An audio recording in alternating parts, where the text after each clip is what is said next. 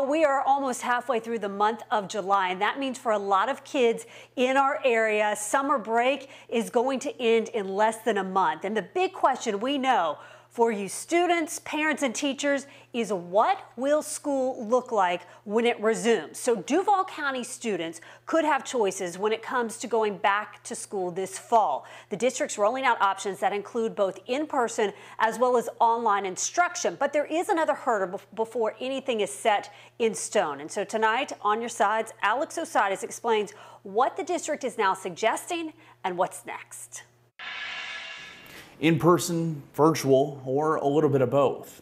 Options put on the table by Duval County school leaders still needing to be approved by the state.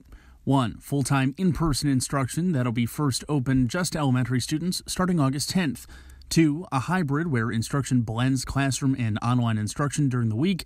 And three, Duval Virtual Instruction Academy for families that don't intend to send their kids back to brick and mortar at all this year. City Rourke is a mother of three with a difficult decision to make is ever, this is not going to be 100% making everybody happy, right? But her mind isn't made up just yet. She questions that if students are locked into those options that they make at the beginning of the year and what happens if there's a positive case for coronavirus on campus. Superintendent Dr. Diana Greene. There is an executive order that was given that our schools should be open five days a week.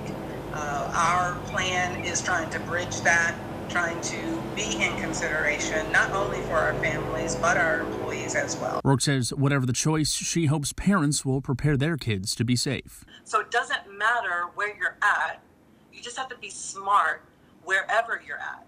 Ahead at 6, the clock is ticking in why parents may need to make a decision before the end of the month. I'll have that coming up. Reporting, Alex Osiris First Coast News on your side.